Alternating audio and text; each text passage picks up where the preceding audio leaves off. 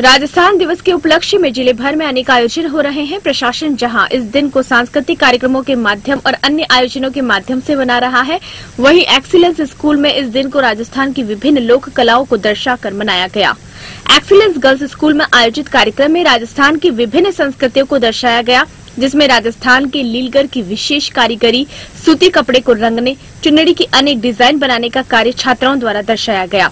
वहीं मनिहार समाज के लाख के चूड़े और हाथों से तैयार की गई डायमंड की चूड़ियों को प्रदर्शनी में दर्शाया गया। इस दौरान राजस्थान की संस्कृति को प्रदर्शित करने वाले गाड़िया, लोहार, चूल्हे पर रोटी बनाते हुए गृहणियाँ, चिकनी मिट्टी से घड़े बनाते कुम्हार, घरों में गाय और पशुपालन, कुएँ से पानी निकालने, पनिहारिन, सतरंगी परिधान, कैर सांगरी छाछ राबड़ी, दाल बाटी चूरमा, ग्रामीण परिधान, दुल्हा दुल्हन, गाँव की कच्ची झोपड़ी सहित अनेक लोक संस्कृति से जुड़े सामाजिक परिवेश को दर्शाया गया, जिसे देखकर पुलिस अधीक्षक विनीत कुमार राठौड़ भी अचंभित रह गए और रंगाई चूड़ा बनाने की कला आदि के बारे में विस्तृत जानकारी ली। इस अवसर पर पुलिस अधीक्षक विनीत कुमार राठौड़ ने सामाजिक बदलाव के नाते स्कूल की बालिकाओं को कई बातें कही, जिसमें यातायात नियमों का पालन करने, संदिग्ध गतिविधियों की सूचना, नजदीकी पुलिस स्टेशन में देने सहित अनेक बातें बताई।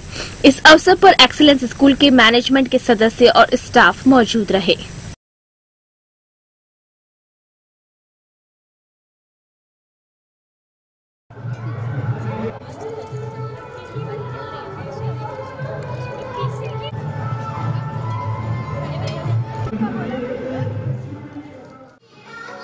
हाँ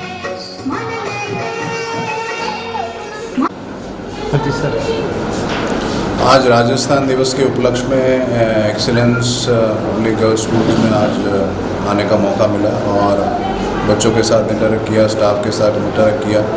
बच्चों ने अपनी प्रस्तुति भी दी और बच्चों ने जो राजस्थानी कल्चर है, उसकी विभिन्न जो सारी चीज़ें हैं, उसका अच्छा प्रदर्शन भी किया, उसको भी देखा और यहाँ आकर के बहुत अच्छा लगा।